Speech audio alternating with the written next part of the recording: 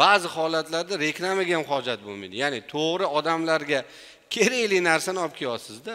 Shuning uchun boshida aytdik o'shanda marketingdan asosiy vazifa ortiqcha odamlarga ishon ko'p reklama qilmasdan ham mahsulotni osongina sotishga yordam beradi marketing. Nega? Mana shu savollarni maksimum tahlil qilganingizda sizda bozorda paydo bo'lganingizda o'z o'zidan nima?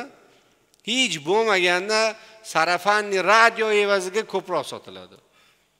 Hech qanaqa marketingga pul sarf ya'ni reklamaga sarflamayapsiz mahsulot olib keldingiz.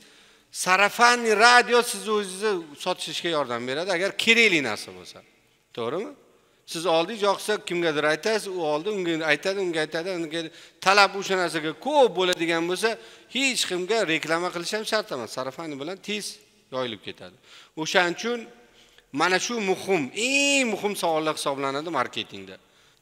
Misol uchun e, kiyim kechak sotadigan bo'lsangiz nima uchun sotamiz? Odamlarga sifatli kiyim kechak yetkazib berish uchun sotamiz. Oshxona ochadigan bo'lsa odamlarni yaxshi sifatli halol taom bilan to'ydirish uchun sotamiz. Misol uchun oyoq kiyim bo'lsa odamlarda shinam удобный yaxshi charm yoki e, mahsulotda o'sha удобный yurish uchun sotamiz. Tushunyapsizmi maqsad aniq bo'lishi kerak. Nima uchun sotishingizni aniq maqsadingiz bo'lishi kerak. Ko'pchilik mana shu maqsad bo'lmaydi.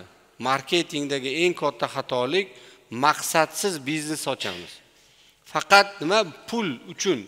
Bir narsani sotib pul olish uchun sotamiz degan ishlamaydi. Odamlarga nimadir bersangiz keyin sizga pulni beradi evaziga. Nima uchun sotaman qaysi ehtiyoji qondirish uchun? Qaysi muammoni reshat qilaman bu bilan degan katta maydonga bir o'zingizni missiyangizni qo'yishingiz kerak.